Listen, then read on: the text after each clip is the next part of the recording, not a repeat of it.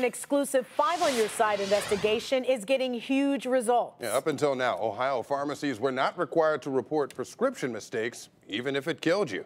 Five on Your Side, Chief Investigator Ron Regan joins us. And Ron, you first uncovered even deadly mistakes could remain a secret. Well, that's right. Starting this week, every pharmacist across the state is now required to report those mistakes that harm patients as a result of reckless or unprofessional conduct.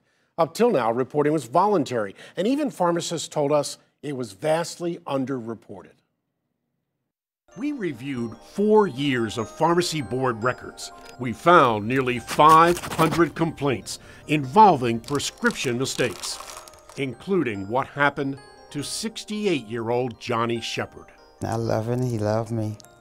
We did everything together. Married 47 years, his wife rushed him to the hospital in excruciating pain. This lawsuit alleges a deadly mistake. He was taking the wrong medicine one. Kill him. The medication killed him. And our investigation found the wrong prescription killed at least two and harmed 31 others in just the last four years. It caused my husband death.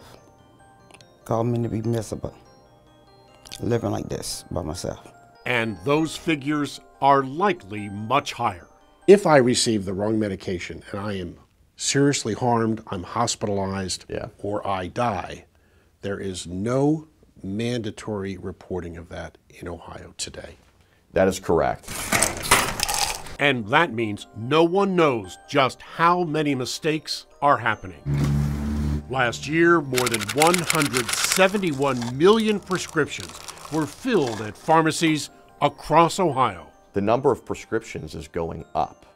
In fact, skyrocketing. It's it's never been higher. And never more alarming. It's fill as fast as you can. Try your best not to kill anybody.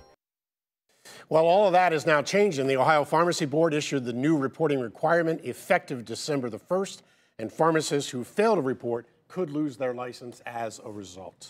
Wow.